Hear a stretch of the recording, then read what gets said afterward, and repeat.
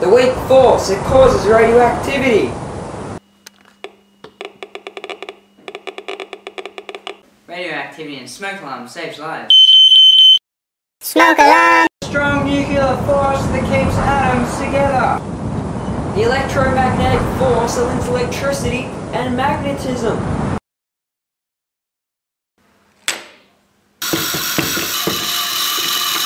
Gravity, which is the weakest force. But it forms stars, planets, and galaxies.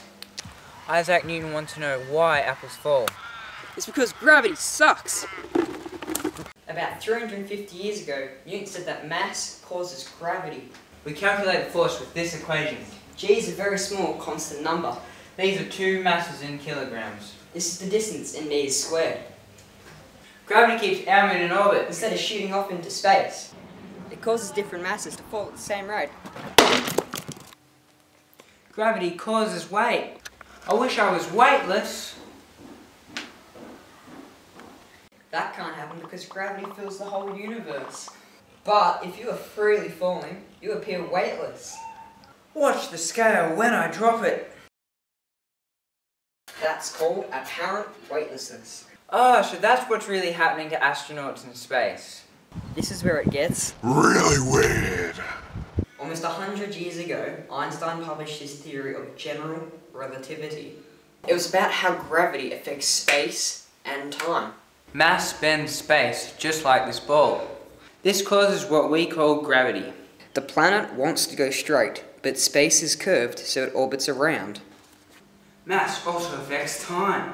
Time.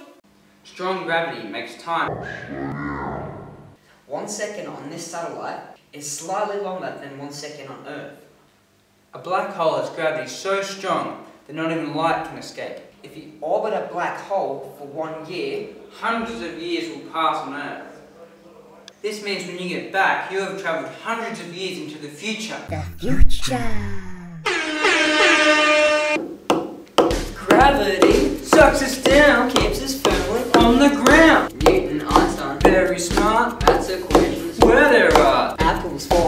Collide, the weakest force, but you can't hide. gravity, Bends time and space, the stars that fuel. The human race Einstein came, warped our minds, showed that we could go through time. future travel, We're in luck. all because Gravity sucks!